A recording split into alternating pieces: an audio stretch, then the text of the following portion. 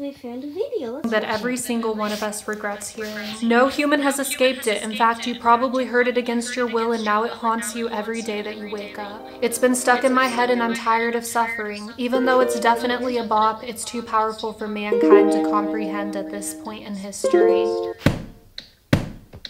So we must preserve it for future generations. Have you guessed it?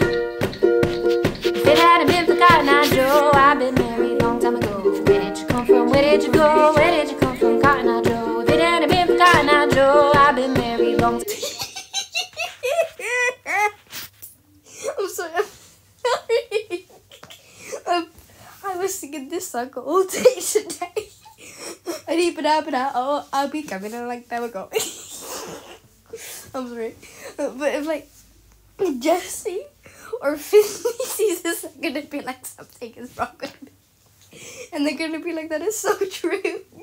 Because Mass would have like, oh, I'll be married a long time ago. I'm not joking. I was singing this all day.